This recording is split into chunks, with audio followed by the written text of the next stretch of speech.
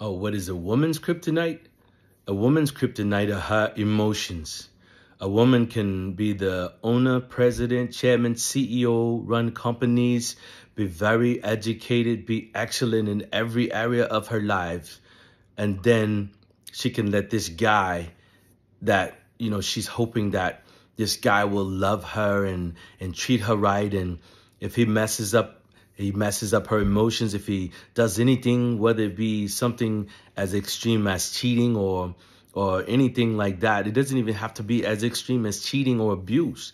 But if he does something to mess with her emotions or anything or anyone messes with her emotions, she'll make if she makes a decision based from her emotions, it's always going to be bad. It's always going to be wrong.